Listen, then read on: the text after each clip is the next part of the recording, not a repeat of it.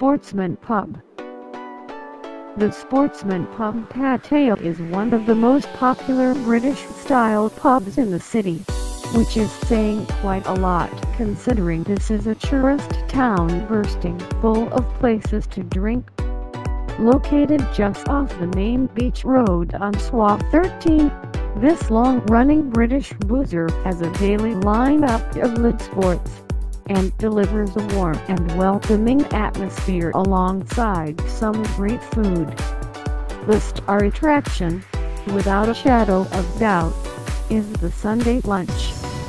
The friendly and cheerful owner makes the bold claim that he is the best carvery in town, which is served between 12.30 and 20.30 and consists of two soups, five roasted joints, a steak and kidney pie, and a full range of trimmings.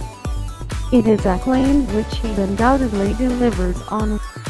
At 425 bob per person for as much as you can eat, it is also amazingly good value, particularly when you consider the high quality of the ingredients used.